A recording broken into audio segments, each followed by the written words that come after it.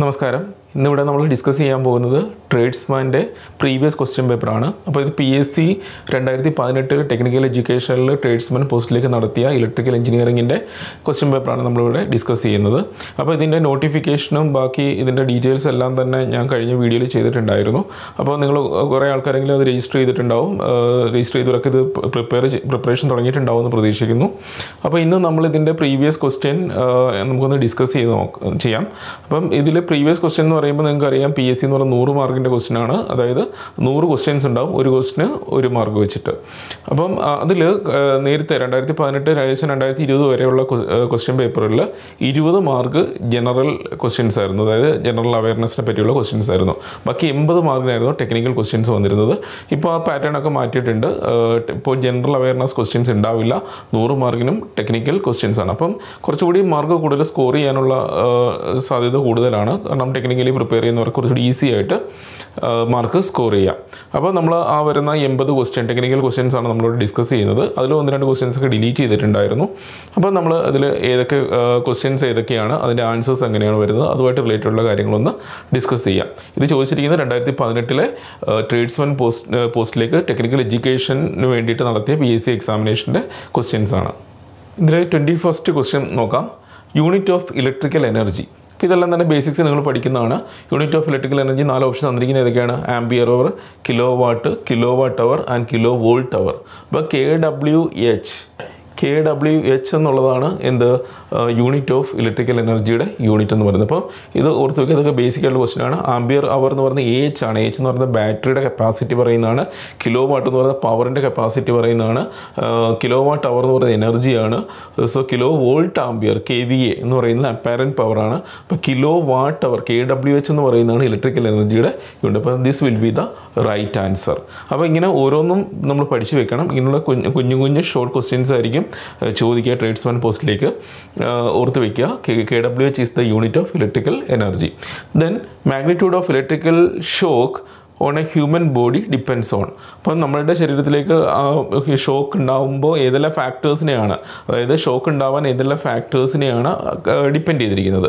First one current flow through the body path of electric current through the body duration of electric shock all of the above ഇപ്പോൾ current flow through the body നമുക്കറിയാം ഉറപ്പായിട്ടും current ഫ്ലോയിനെ depend ചെയ്തിരിക്കും. Then അത് കാണുമ്പോൾ തന്നെ അത് കയറി മാർക്ക് ചെയ്തത് കംപ്ലീറ്റ് ഓപ്ഷൻസ് വായിച്ച് നോക്കുക. Path of electric current through the body പാത്തിനെ depend ചെയ്തിരിക്കുന്നു. Then duration duration is also very important almost ഒരു ത്രീ സെക്കൻഡ്സ് ഒക്കെ വന്നു കഴിഞ്ഞാൽ തന്നെ ആൾക്കാർ മരിച്ചു പോകും അല്ലെങ്കിൽ ഒരു ഹെവി ഷോക്ക് ഉണ്ടാവും. അതുകൊണ്ട് ഇതെല്ലാം തന്നെ ഡിപ്പെൻഡ് ചെയ്തിരിക്കും. ഓൾ ഓഫ് ദി എബോ എന്നുള്ളതാണ് correct answer all of the above അപ്പോൾ ആദ്യം തന്നെ കറണ്ട് ഫ്ലോ എന്ന് കാണുമ്പോൾ തന്നെ കയറി മാർക്ക് ചെയ്യരുത്. കംപ്ലീറ്റ് ഓപ്ഷൻസും വായിച്ചു നോക്കിയതിന് ശേഷം മാത്രമേ മാർക്ക് ചെയ്യാവുള്ളൂ. അപ്പോൾ ഇവിടെ നമുക്കറിയാം എത്രയാണ് കറണ്ട് ഫ്ലോ അതായത് നമുക്ക് ഷോക്ക് ഉണ്ടാവാനുള്ള മിനിമം കറണ്ട് എന്ന് പറയുന്നത് ടെൻ മില്ലി ആംബിയർ ആണ്. ഇപ്പോൾ ടെൻ മില്ലി ആംബിയർ വരെ നമ്മുടെ ശരീരത്തിലേക്ക് വന്നു കഴിഞ്ഞാൽ ഷോക്ക് ഉണ്ടാവുകയും ഡിപ്പെൻസ് അപ്പോൾ the nature of the body ചില ആൾക്കാരത് ആ എത്ര ഡ്യൂറേഷൻ ഉണ്ടെന്ന് നോക്കി വരുന്ന വെച്ചിട്ട് ആൾക്കാർ മരിച്ചു പോകാനൊക്കെയുള്ള ചാൻസ് ഉണ്ട്. അപ്പോൾ ടെൻ മില്ലി ആംബിയർ വരെ കറണ്ട് നമ്മുടെ ശരീരത്തിലൂടെ ഫ്ലോ ചെയ്ത് കഴിഞ്ഞാൽ അവിടെ ഹെവി ഷോക്ക് ഉണ്ടാവുകയും അത് ഡെത്തിലേക്ക് നയിക്കുകയും ചെയ്യും. Next question one of the following components is a passive device അപ്പോൾ പാസീവ് ഡിവൈസും ആക്റ്റീവ് ഡിവൈസും ഒക്കെ നിങ്ങൾ ബേസിക്സിൽ പഠിച്ചിട്ടുണ്ടാവും. ഇതെല്ലാം തന്നെ നമ്മളുടെ ബേസിക് ഇലക്ട്രിക്കൽ എഞ്ചിനീയറിംഗിന്റെ ക്ലാസ്സിൽ എടുക്കുന്നതാണ്. എന്തൊക്കെയാണ് ആക്റ്റീവ് ഡിവൈസ് എന്തൊക്കെയാണ് പാസീവ് ഡിവൈസ് ഇതിന്റെ പ്രോപ്പർട്ടീസ് ഒക്കെ നമ്മൾ പറയും. അപ്പോൾ ഇവിടെ what are the following components is a passive device അപ്പോൾ ഇവിടെ പറയുന്നത് ഏതൊക്കെയാണ് ഓപ്ഷൻസ് വായിച്ച് നോക്കാം. Field effect transistor silicon controlled rectifier an air cored inductor and zener diode അപ്പം ഇതെല്ലാം തന്നെ എയും ബി ഇസ് ഡി ഇതെല്ലാം തന്നെ സെമി കണ്ടക്ടർ ഡിവൈസസ് ആണ്. അപ്പോൾ ഇതെല്ലാം ഇങ്ങനെ സെമി കണ്ടക്ടർ ഡിവൈസ് എല്ലാം തന്നെ എന്തായിരിക്കും? ആക്റ്റീവ് ഡിവൈസ് ആയിരിക്കും. അപ്പോൾ ഇവിടെ എയർ കോർ ഇൻഡക്ടർ എന്ന് പറയുന്നതാണ് എന്ത്? പാസീവ് ഡിവൈസ് ആയിട്ട് നമ്മൾ പറയുക. അതായത് resistance inductance and capacitance these are the passive components or passive device എന്ന് നമുക്ക് പറയാം. അതുകൊണ്ട് തന്നെ എയർ കോർ ഇൻഡക്ടർ എന്നുള്ള ഓപ്ഷൻ ഇവിടെ ഉള്ളതുകൊണ്ട് നമുക്ക് എന്ത് പറയാം?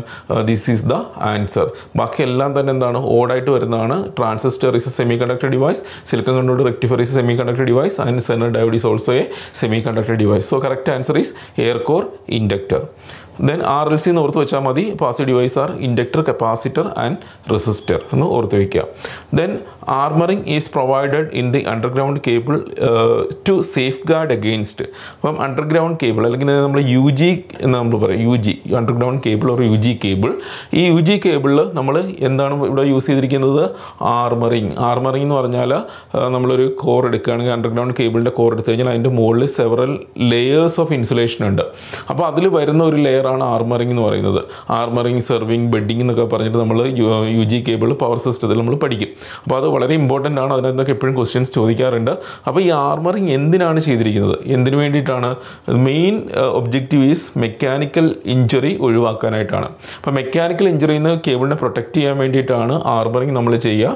അപ്പോൾ അത് നമ്മൾ ഇതുമായിട്ട് ബന്ധപ്പെട്ട് ചോദിക്കുന്ന സ്ഥിരമായി ചോദിക്കുന്ന മറ്റൊരു ക്വസ്റ്റ്യൻ ആണ്. എന്ത് മെറ്റീരിയലാണ് അല്ലെങ്കിൽ എന്തുകൊണ്ടാണ് ആർമറിങ് ചെയ്യുന്നത്? ഇവിടെ എന്ന് പറയുന്നത് അലൂമിനിയം വയേഴ്സ് അലൂമിനിയം വയേഴ്സ് വെച്ചിട്ടാണ് നമ്മൾ എന്ത് ചെയ്യാം ഈ ആർമറിങ്. അപ്പോൾ അലൂമിനിയന്റെ അലൂമിനിയത്തിന്റെ വയർ വെച്ചിട്ട് ഇങ്ങനെ പിരിച്ച് പിരിച്ചിട്ടാണ് ഈ കേബിളിനെ നമ്മൾ പ്രൊട്ടക്ട് ചെയ്ത് അതിന്റെ മുകളിൽ ഒരു കോട്ടിംഗ് പോലെയാക്കും. അതിനെയാണ് നമ്മൾ എന്ത് പറയുക ആർമറിങ് എന്ന് പറയുക അപ്പോൾ ഇതിന്റെ ഡീറ്റെയിൽസ് ഒക്കെ പവർ സിസ്റ്റം ക്ലാസ്സിൽ ഇൻക്ലൂഡ് ചെയ്തിട്ടുണ്ട്. So armouring is provided in the underground cable to safeguard against mechanical injury. Next question. The main switch is used in a single phase supply is to provide with fuse in both line and neutral a link uh, in the line and fuse in the neutral. Fuse in the line and a link in the neutral. None of the above. അപ്പോൾ main സ്വിച്ചിൽ എങ്ങനെയാണ് അതിന്റെ connection വരുന്നതെന്നാണ് ചോദിച്ചിരിക്കുന്നത്. അപ്പോൾ fuse in both line and neutral ഇങ്ങനെ പറയുന്ന അത് കൺസെപ്റ്റ് തെറ്റാണ്. ന്യൂട്രലിലും ലൈനിലും കൂടെ ഒരിക്കലും നമ്മൾ ഫ്യൂസ് കൊടുക്കാറില്ല. Link in the line and fuse in the neutral എപ്പോഴും ഫ്യൂസ് കൊടുക്കുന്നത് ഫേസ് വയറിൽ അല്ലെങ്കിൽ ലൈൻ വയറിലായിരിക്കും ഫേസ് വയറിലായിരിക്കും അപ്പോൾ അത് നമ്മൾ ഓർത്ത് വെക്കുക. അപ്പോൾ ഇവിടെ വരുമ്പം link in the phase and fuse in the neutral എന്ന് പറഞ്ഞാൽ തെറ്റാണ്. Fuse in the line and link in the neutral അപ്പം എപ്പോഴും നമ്മൾ ഫ്യൂസ് കണക്ട് ചെയ്യുക ഫേസ് വയറിലും ന്യൂട്രൽ ന്യൂട്രൽ ലിങ്ക് എന്ന് ഓർത്ത് വെച്ചാൽ മതി. ന്യൂട്രലിൽ എന്താണ് കണക്ട് ചെയ്യുക? ലിങ്ക് ആണ് കണക്ട് ചെയ്യുക. അപ്പം C is the right answer phase in fuse in the line and link in the neutral so answer C will be the correct answer so next question which of the following unit is the correct one for reactive power അപ്പോൾ active power reactive power apparent power ഒക്കെ നിങ്ങൾ പഠിച്ചിട്ടുണ്ടാവും. അത് അത് ഒക്കെ refresh ചെയ്യുക. ഇതിനകത്തൊക്കെ സ്ഥിരമായി ക്വസ്റ്റ്യൻ ചോദിക്കാറുണ്ട്. സോ ആക്റ്റീവ് പവറിന്റെ യൂണിറ്റ് എന്ന് പറയുന്നത് കിലോ വാട്ടാണ് റിയാക്റ്റീവ് പവറിന്റെ യൂണിറ്റ് എന്ന് പറയുന്നത് K V A R and apparent power എന്ന് പറയുന്നത് K V A so this is the relation active power എന്ന് പറയുന്നത് K W power K V R and apparent power is K V A this is the corresponding angle so ഇവിടെ K V A എന്ന് പറയുന്നതാണ് net power or apparent power എന്ന് പറയുന്നത്. This will be equal to square root of K W square plus K V A R square അപ്പോൾ K K W എന്ന് പറയുന്നത് active power active പവറുടെ X ഇങ്ങനെ നമ്മൾ എക്സ് ആക്സ് പോലെ കാണിക്കും. കെ ബി ആർ എന്ന് പറയുന്നത് വൈ ആക്സ് പോലെ കാണിക്കും. ദെൻ ഇതിന് രണ്ടിനും കൂടെ സം ആയിരിക്കും. വെക്ടർ സം ആണ് ടോട്ടൽ പവർ കെ വി എന്ന് പറയുക. This is the active power this is the reactive power and this is the apparent power ഇവിടെ ചോദിച്ചിരിക്കുന്നത് എന്താണ്? Which of the following unit is the correct one for reactive power ഇപ്പോൾ reactive പവറിന്റെ unit എന്താണെന്നാണ് ചോദിച്ചിരിക്കുന്നത്. Kilo volt ampere K V A ആണോ? അല്ല. അടുത്ത എന്താണ്? കിലോ വാട്ട് കിലോ വാട്ട് എന്ന് പറയുന്നത് ആക്റ്റീവ് പവറിന്റെ യൂണിറ്റ് ആണ് മെഗാ വാട്ട് കിലോ വാട്ടിന്റെ റേറ്റ് പവർ പവർ കൂട്ടി റേറ്റ് കൂട്ടി പറയുന്നതാണ് നമ്മൾ മെഗാവാട്ട് എന്ന് പറയുന്നത്. Then next kilo watt kilo volt ampere reactive kilo volt ampere react എന്ന് പറയുന്നത് കെ വി എ ആർ എന്നുള്ളതാണ്. അങ്ങനെ തന്നെ പഠിച്ചു വെക്കുക. That is the unit of reactive power next question twenty seven the type of insulator used in used for holding high transmission overhead conductor on straight running poles അപ്പോൾ straight running poles poles എന്ന് പറയുന്നത് നമ്മൾ സാധാരണ പോസ്റ്റിനെയാണ് നമ്മൾ Paul's എന്നൊക്കെ പറയുക technically അപ്പോൾ അവിടെ നമ്മൾ ഹോൾഡിംഗ് ട്രാൻസ്മിഷൻ ലൈൻ ട്രാൻസ്മിഷൻ ലൈനെ എന്താണ് ഹോൾഡ് ചെയ്തിരിക്കുന്ന ഇൻസുലേറ്ററിന്റെ പേരെന്താണെന്നുള്ളതാണ് ചോദിച്ചിരിക്കുന്നത്.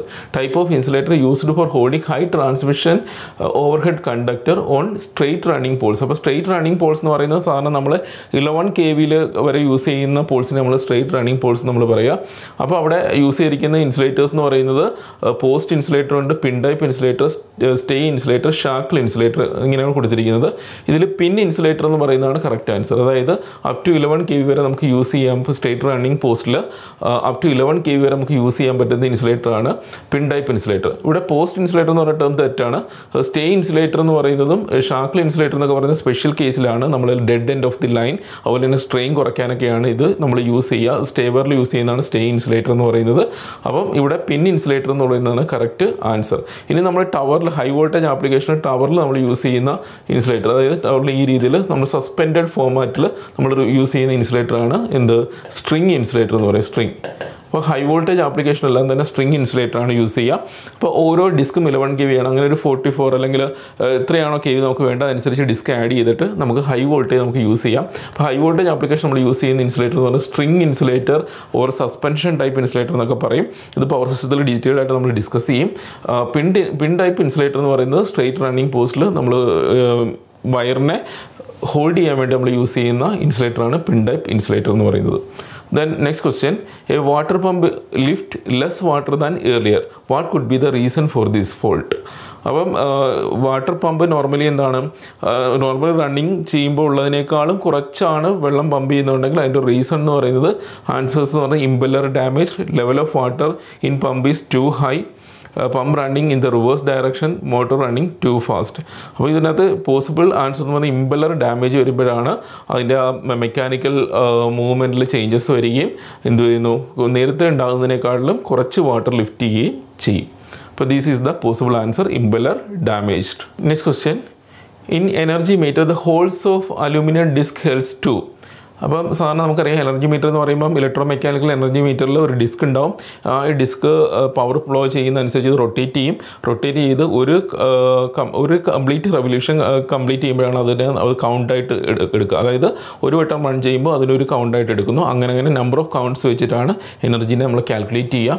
അപ്പോൾ ഇവിടെ എനർജി മീറ്ററിൽ ഡിസ്ക് ഉണ്ട് നമുക്ക് കാണാൻ പറ്റും. ആ ഡിസ്കിൽ ഹോൾസ് എന്തിനാണ് ഇട്ടിരിക്കുന്നത്? ഡയമെട്രിക്കലി ഓപ്പോസിറ്റ് ആയിട്ടാണ് ഹോൾസ് വരിക. അപ്പം ഈ ഹോൾസ് ഇട്ടിരിക്കുന്നതെന്ന് പറഞ്ഞാൽ എന്താണ്? അതായത് അവിടെ നോ ലോഡ് കേസ് എപ്പോഴും നമ്മൾ ലോഡ് ചെയ്യില്ല. നോ ലോഡ് കേസിൽ എന്തായിരിക്കണം? ഈ ഡിസ്ക് ഐഡിലായിട്ടിരിക്കണം പക്ഷേ എന്താണ്? ഇത് ഈ പറയുന്ന because of the effect of magnetic field എന്ത് സംഭവിക്കും? ഇത് കണ്ടിന്യൂസ് ആയിട്ട് റൊട്ടേറ്റ് ചെയ്തുകൊണ്ടിരിക്കും. അതായത് ലോഡൊന്നും കൊടുത്തില്ലെങ്കിൽ കൂടെ ഡിസ്ക് റൊട്ടേറ്റ് ചെയ്യും അത് എനർജി കൗണ്ട് ചെയ്യുകയും ചെയ്യും. ആ ഒരു എററാണ് ആ എററിനെ ഒഴിവാക്കാൻ വേണ്ടിയിട്ട് നമ്മൾ എന്ത് ചെയ്യുന്നു? നമ്മൾ ഡയമെട്രിക്കലി ഓപ്പോസിറ്റ് ആയിട്ട് രണ്ട് ഹോൾസ് ഇങ്ങനെ ഇട്ട് കൊടുക്കുന്നു. ഇതിനെയാണ് നമ്മൾ ഇത് which is used to prevent creeping error അപ്പം ഈ രീതിയിൽ നോ ലോഡിൽ ഇത് റൺ ചെയ്യുന്ന ഒരു പ്രോസസ്സിനെയാണ് നമ്മൾ ക്രീപ്പിംഗ് എറർ എന്ന് പറയുക. അപ്പോൾ ക്രീപ്പിംഗ് എറർ ഒഴിവാക്കാൻ വേണ്ടിയിട്ടാണ് നമ്മൾ എന്ത് ചെയ്യുക? എനർജി മീറ്ററിൽ ഡയമെട്രിക്കലി ഓപ്പോസിറ്റ് ആയിട്ട് ഹോൾസ് ഇട്ട് കൊടുക്കുക. സോ അത് കോമൺ ആയിട്ട് ചോദിക്കാറുള്ള ക്വസ്റ്റൻ ആണ്. എനർജി മീറ്ററിൽ എന്തിനാണ് ഹോൾസ് യൂസ് ചെയ്യുക? Which is used to prevent creeping error അപ്പം എനർജി മീറ്ററിന്റെ വർക്കിംഗ് എങ്ങനെയാണ്? അതിന്റെ കോമ്പൻസേഷൻ എങ്ങനെയൊക്കെ എന്തൊക്കെ കോമ്പൻസേഷനാണ് അവിടെ ചെയ്യുക? എറേഴ്സ് എന്തൊക്കെയാണ്? ഇതിന്റെ ഇതെല്ലാം തന്നെ നമ്മൾ മെഷർമെന്റ് എന്ന് പറയുന്ന സബ്ജക്റ്റിൽ ഡിസ്കസ് ചെയ്യും. Next is earth leakage circuit breaker is used to disconnect the supply from earth leakage circuit breaker E L C B എന്ന് നമ്മൾ പറയും. ഇത് എന്തിനു വേണ്ടിയിട്ടാണ്? E L C B earth leakage അപ്പോൾ എർത്ത് എന്നുള്ള വേർഡ് വെച്ചിട്ട് തന്നെ നമുക്ക് ഐഡന്റിഫൈ ചെയ്യാൻ പറ്റും. നമ്മൾ എവിടെയെങ്കിലും ലീക്കേജ് ഉണ്ടായിട്ട് ഗ്രൗണ്ടുമായിട്ട് ഷോർട്ട് ആവുന്ന കേസിൽ പ്രൊട്ടക്റ്റ് ചെയ്യാൻ വേണ്ടിയിട്ടാണ് നമ്മൾ യൂസ് ചെയ്യുക. അപ്പോൾ ഇവിടെ ആൻസേഴ്സ് ഏതൊക്കെയാണ്? Short circuit ground fault open fault overload അപ്പോൾ ഇവിടെ ഗ്രൗണ്ട് ഫോൾട്ട് എന്ന് പറയുന്ന ഒരു ഗ്രൗണ്ട് എന്ന് പറയുന്ന ഒരു ടേം ഇവിടെ കിടപ്പുണ്ട്. എർത്ത് ലീക്കേജ് അപ്പോൾ എർത്ത് ലീക്കേജ് എന്ന് പറഞ്ഞാൽ ഗ്രൗണ്ടിലോട്ടായിരിക്കുമല്ലോ അപ്പോൾ അതിനെ ഡിസ്കണക്ട് ചെയ്യാൻ വേണ്ടിയിട്ട് നമ്മൾ യൂസ് ചെയ്യുന്ന circuit ബ്രേക്കറാണ് circuit breaker earth leakage circuit breaker അത് പ്രൊട്ടക്ട് ചെയ്യുന്ന എന്തിനാണ് ഈ ഗ്രൗണ്ട് ഫോൾട്ട് അല്ലെങ്കിൽ എർത്ത് ഫോൾട്ട് നമ്മൾ പറയാറുണ്ട്. ഗ്രൗണ്ട് ഫോൾട്ടിൽ നിന്ന് പ്രൊട്ടക്ട് ചെയ്യാൻ വേണ്ടിയിട്ടാണ് E L C B earth leakage circuit breaker നമ്മൾ മെയിനായിട്ട് യൂസ് ചെയ്യുക. Next question in a transformer chemical contain inside the breather breather എന്ന് പറയുന്ന എന്ന് പറയുന്നത് എന്തിനാണ്? അവിടെ നമ്മൾ എന്തിനാണ് യൂസ് ചെയ്യുന്നത്? അവിടെ യൂസ് ചെയ്യുന്ന കെമിക്കൽ എന്താണ്? അപ്പം ബ്രീതർ നമ്മൾ യൂസ് ചെയ്യുന്ന കെമിക്കൽ എന്ന് പറയുന്നത് സിലിക്ക ജെല്ലാണ് അപ്പോൾ ഇതെല്ലാം തന്നെ വൺ വേർഡ് ക്വസ്റ്റ്യൻസ് ആണ്. ഇത് ഓരോന്നും ഡീറ്റെയിൽഡ് ആയിട്ട് നമ്മൾ അറിഞ്ഞിരിക്കണം. ഇതിന്റെ പർപ്പസ് എന്താണെന്നുള്ളത് അപ്പം ആക്ച്വലി ഈ സിലി ബ്രീതർ നമ്മൾ യൂസ് ചെയ്യുന്ന പറഞ്ഞാൽ ഇതിലേക്ക് ഫ്ലോ ചെയ്യുന്ന എയറിൽ നിന്ന് മോയ്സ്ചർ കണ്ടന്റിനെയൊക്കെ അബ്സോർവ് ചെയ്യാൻ വേണ്ടിയിട്ടാണ് നമ്മൾ ബ്രീതർ യൂസ് ചെയ്യുക. അപ്പോൾ അവിടെ ഈസി ആയിട്ട് മോയ്സ്ചർ കണ്ടന്റിനെ അബ്സോർവ് ചെയ്യാൻ വേണ്ടി നമ്മൾ യൂസ് ചെയ്യുന്ന കെമിക്കൽ എന്ന് പറയുന്നത് എന്താണ്? സിലിക്ക ജെല്ലാണ് ഓർത്ത് വയ്ക്കുക ബ്രീതറിൽ യൂസ് ചെയ്യുന്ന സിലിക്ക ജെല്ലാണ് അത് എന്തിനു വേണ്ടിയാണെന്ന് ചോദിക്കാം. To absorb the moisture content in the air next ഇത് device which can be used to switch as well as protective device അപ്പം സ്വിച്ച് ആയിട്ടും ആക്ട് ചെയ്യും. പ്രൊട്ടക്റ്റീവ് ഡിവൈസ് ആയിട്ട് ആക്ട് ചെയ്യുന്ന കോമൺ ആയിട്ട് ആക്ട് ചെയ്യുന്ന ഒരു ഡിവൈസ് ഏതാണ്?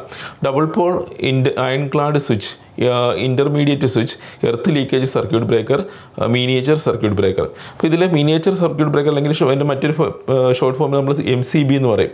ഇതെന്ന് പറയുന്നത് ഇ എൽ സി ബി അപ്പം ഇത് device which can be used as a switch as as well as protective device ആയിട്ട് അതായത് സ്വിച്ചായിട്ടും ആക്ട് ചെയ്യും. പ്രൊട്ടക്റ്റീവ് ഡിവൈസ് ആയിട്ട് സബ് സർക്യൂട്ട് നമ്മൾ യൂസ് ചെയ്യുന്ന ഒരു ഡിവൈസാണ് എം സി ബി അല്ലെങ്കിൽ മീനിയേച്ചർ സർക്യൂട്ട് ബ്രേക്കർ ഓർത്ത് വയ്ക്കുക സ്വിച്ചും പ്രൊട്ടക്റ്റീവ് ഡിവൈസായിട്ട് ആക്ട് ചെയ്യുന്ന ഒരു ഡിവൈസാണ് M C B next question thirty four gravity controlled instrument has to be kept in അപ്പോൾ നമുക്ക് ഇൻസ്ട്രുമെൻസിന്റെ അത് മെഷർമെന്റ് ആൻഡ് ഇൻസ്ട്രുമെന്റേഷൻ ടോപ്പിക്കിൽ ഡിഫറെന്റ് ടൈപ്സ് ഓഫ് ഇൻസ്ട്രുമെന്റ് അവിടെ കൺട്രോളിംഗ് ടോർക്ക് എങ്ങനെ കൊടുക്കുന്നതെന്നൊക്കെ നമ്മൾ പഠി പഠിക്കുന്നുണ്ട്. അപ്പോൾ അതെല്ലാം തന്നെ നമ്മൾ വീണ്ടും എക്സാമിനേഷൻ വേണ്ടി റിഫ്രഷ് ചെയ്യണം. ഇവിടെ രണ്ട് ടൈപ്പ് കൺട്രോളാണ് നമ്മൾ പറയുന്നത്. ഗ്രാവിറ്റി കൺട്രോളും സ്പ്രിംഗ് കൺട്രോളും അതിൽ ഗ്രാവിറ്റി കൺട്രോൾ എന്ന് പറയുന്നത് വളരെ റെയറായിട്ട് നമ്മൾ യൂസ് ചെയ്യുന്ന ഒരു കൺട്രോളാണ് അതായത് നമ്മുടെ ഡിഫ്ലക്ഷൻ സിസ്റ്റത്തിനെ കൺട്രോൾ ചെയ്യുന്ന ടോർക്കാണ് ഗ്രാവിറ്റി കൺട്രോൾ ടോർക്ക് എന്ന് പറയുന്നത്. അപ്പോൾ ഇവിടെ ഗ്രാവിറ്റി കൺട്രോൾ ഇൻസ്ട്രുമെന്റ് എന്ന് പറയുന്നത് അതിനൊരു ഒരു പ്രത്യേകത ഉണ്ട്. അത് ഏത് പൊസിഷനിലാണ് വെക്കുക. അപ്പോൾ സ്പ്രിംഗ് കൺട്രോൾ നമുക്ക് എങ്ങനെ വേണമെങ്കിലും വെക്കാം കുഴപ്പമില്ല. പക്ഷേ ഗ്രാവിറ്റി കൺട്രോൾ ഇൻസ്ട്രുമെന്റ് എന്ന് പറയുന്നത് വെർട്ടിക്കൽ പൊസിഷനിലായിരിക്കും എപ്പോഴും വെക്കുക.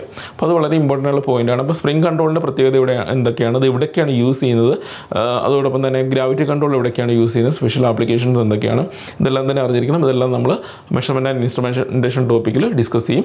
So gravity control instrument has to be kept in vertical position then sodium vapour lamp gives which colour sodium vapour lamp അതായത് ഡിഫറെന്റ് ടൈപ്സ് ഓഫ് ലാമ്പ്സ് എന്തൊക്കെയാണ് അതിന്റെ യൂണിറ്റ്സ് എന്തൊക്കെയാണ് എഫിഷ്യൻസി എന്തൊക്കെയാണ് life എന്താണ് ഇതെല്ലാം തന്നെ അറിഞ്ഞിരിക്കണം. അപ്പോൾ സോഡിയം വേപ്പർ ലാമ്പ് എന്ന് പറയുന്നത് നമ്മൾ അതിന്റെ കളർ എന്ന് പറയുന്നത് യെല്ലോ കളറാണ് യെല്ലോ അപ്പം ഇവിടെ ഓരോന്ന് ഓരോ കളർ കൊടുത്തിട്ടുണ്ട്. ഇവിടെ എന്താണ് ഓരോ ലാമ്പിന്റെയും കളേഴ്സ് നമ്മൾ പഠിച്ചു വയ്ക്കുക. അപ്പോൾ സോഡിയം പേപ്പർ ലാമ്പിൽ വരുന്ന റിലേറ്റ് ചെയ്യുന്ന കളർ എന്ന് പറയുന്നത് യെല്ലോ കളറാണ്.